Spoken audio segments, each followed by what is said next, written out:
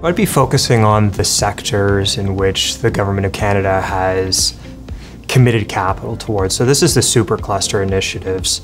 They've announced five superclusters that are promoting ocean innovation or ocean technology innovation, AI, advanced manufacturing, protein innovation, and then digital technology. Later stage companies know that they need to remain innovative in order to be competitive. They've seen companies like Google who continue to innovate or Amazon who continue to innovate and explore new product areas. The advice that I give technology companies is to seek out that mentorship and surround yourselves with experts in the fields that you necessarily aren't focusing on, and finance being one of them. There is alternate sources of capital available other than equity.